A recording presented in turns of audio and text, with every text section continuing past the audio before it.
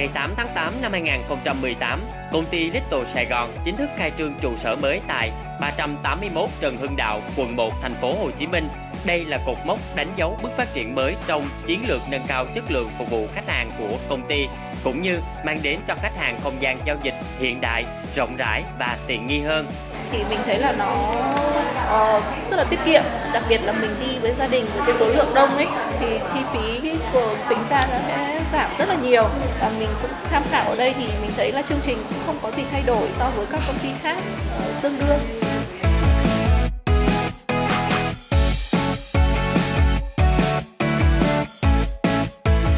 Hôm nay tôi đến đây thì tôi cũng đã đăng ký được cái tour cho gia đình của tôi đi và thấy là nhân viên để phục vụ rất là tận tình và chuyên nghiệp.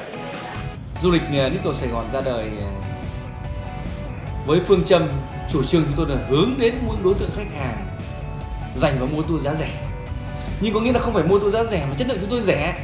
Bởi vì này chúng tôi luôn luôn cắt gọt những chi phí cố định không cần thiết Ờ, à, như ví dụ như quảng cáo không cần phải đầu tư quá nhiều bởi vì khi khách khách hàng được lợi như vậy thì khách hàng sẽ là người quảng cáo cho chúng tôi để làm sao là thương hiệu Little Sài Gòn đi vào lòng du khách. Tiếp theo là làm sao chúng tôi có giá rẻ? Chúng tôi triển khai những chương trình làm cho khách cho những khách hàng có những chúng tôi gọi là những cái tín đồ mua sắm uh, tín đồ shopping.